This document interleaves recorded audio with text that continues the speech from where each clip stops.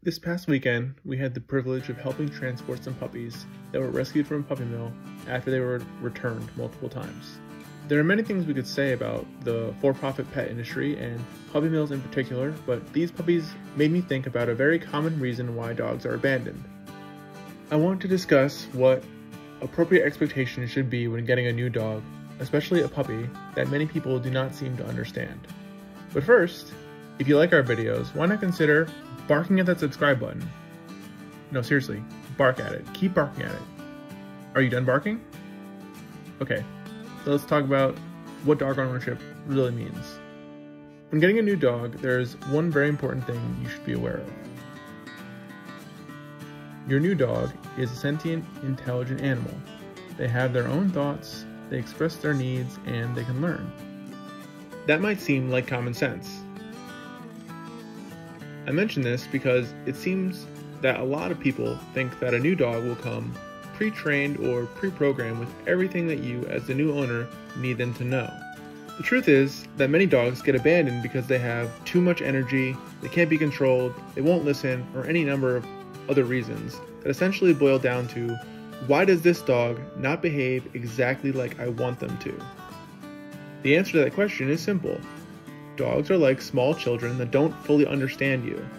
There is a reason that many pet owners consider their pets to be their furry children. Much like children, dogs need to be taught how to behave.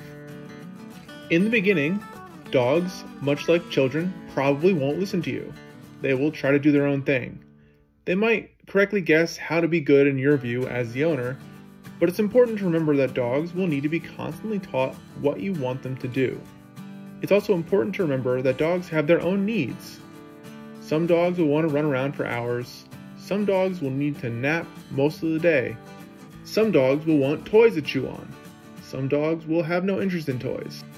Dogs are like children in so many ways. Dogs are not stuffed animals. They do not just sit in a corner and look cute like a decoration. If you want a dog, then be prepared for the responsibility of training them and teaching them how to interact with the world. These puppies are just like several of our own dogs that were returned multiple times for being too much. Would you return your human child to the hospital if they stopped listening or they wet their pants because you didn't bring them to the bathroom when they said they had to go? Then you should ask yourself why you think it is appropriate to abandon a dog in the same way. Teach your dog how you want them to behave. Build a relationship with your dog. You will be rewarded with love, affection, appreciation, and trust that you will not find anywhere else. Putting time into training and working through your dog's needs for you and your needs for them is part of the responsibility of dog ownership. If you can't accept that responsibility, then you should really consider whether you should get a dog at all. These puppies are on their way to a better life where they will be appreciated. They will not be abandoned anymore because people decided they were too much work. Don't all people and animals deserve that same respect? Thank you for watching our videos. Remember to spay and neuter your pets, and please be kind to animals.